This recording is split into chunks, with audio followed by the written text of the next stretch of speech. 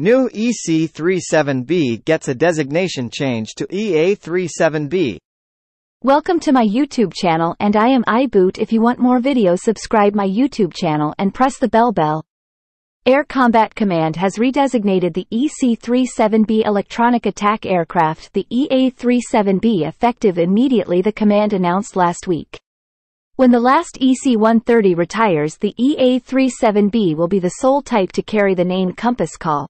The new designation better identifies the platform's mission of finding attacking and destroying enemy land or sea targets an ACC release stated as the aircraft will be primarily an electronic warfare or electronic attack system. The only other EA designation now flying is the Navy's Electronic Attack EA-18G Growler tactical jamming aircraft. The C designation was vestigial from the EC-130H and generally connotes an aircraft with a cargo mission. The first of 10 EA-37Bs, heavily modified versions of the Gulfstream G550 airframe, was delivered to Air Force Materiel Command from BAE Systems and L3 Harris for testing in September. After testing, the aircraft will go to the 55th Electronic Combat Group at Davis-Monthan Air Force Base Aries for operational service sometime in 2024. ACC has divested nine of its 14 EC-130H Compass Call aircraft.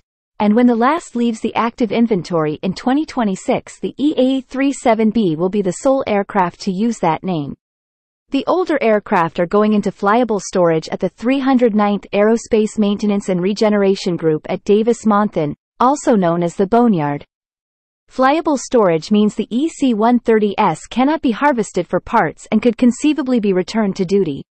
Such designation usually means the aircraft are being held in reserve against the need to recall them in wartime. The EA-37B sustains Joint Force military advantage in electromagnetic battle space and builds a more lethal force by modernizing electromagnetic attack capabilities to deny peer competitors tactical networks and information ecosystems ACC said in a release. Thanks for watching like this video and subscribe my YouTube channel.